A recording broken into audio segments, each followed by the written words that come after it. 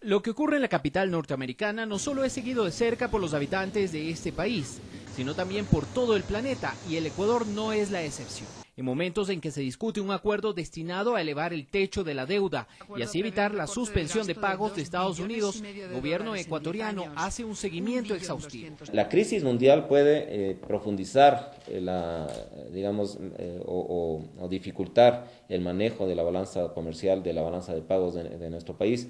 Y en ese sentido nosotros estamos atentos a, digamos, al comportamiento de esta crisis en el objetivo de también adoptar medidas que tengan relación con lo que a nosotros nos compete.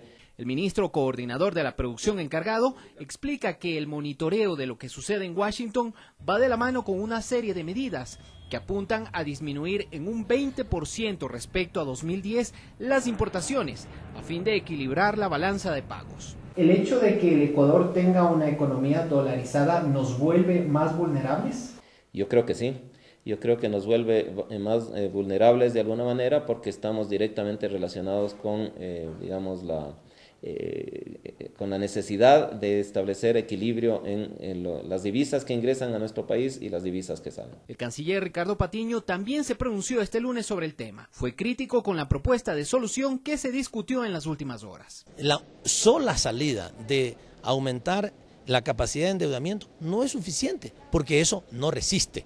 Ellos tienen que ver y tienen que analizar cómo solucionan los problemas internos. Yo no me voy a meter en, por supuesto, esto es eh, una decisión autónoma de, de ese país, pero eso puede tener graves consecuencias no para los ecuatorianos, para el mundo entero. Durante el 2010, el Ecuador exportó a Estados Unidos, su principal socio comercial, productos por un monto cercano a 5 mil millones de dólares, incluidos el petróleo, el banano, el camarón y las flores, que son los principales. Néstor Aguilera, Ecuador TV, su televisión pública.